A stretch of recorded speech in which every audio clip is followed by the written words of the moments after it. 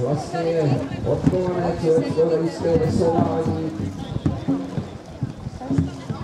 Jinak teda na dvojce Fastray, trojka Neptun, Kupěšťany, čtyři už jaksi Zaužitá sestava Serepes, pětka pochopitelně musí být toho draci z letu, na šestce Dragokono Trenčín.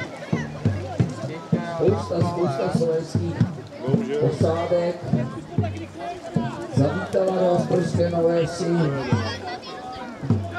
Nakonec těch 60-70 km přeci nám není tak daleko, takže využila tu šanci a startuje mistrovství České republiky Ostrožské Nové Vsi.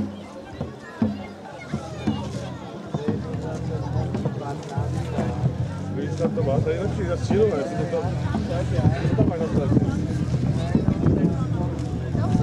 já falei de... uhum.